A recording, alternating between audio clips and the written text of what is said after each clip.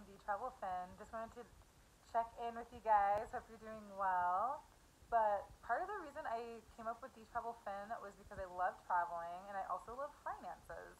So I am studying to become a financial coach and just want to make sure I'm clear that I am not a financial advisor, but um, I can help you develop a budget or stick to a budget and just uh, ask about different financial goals that you have and work with you so that you can meet those. And then with travel, you know, travel takes money, and so it's like we can work together on that um, plan too, as far as like getting you outside, getting you to the destinations that you do going to, and so reach out and you can call me, text me, send a DM,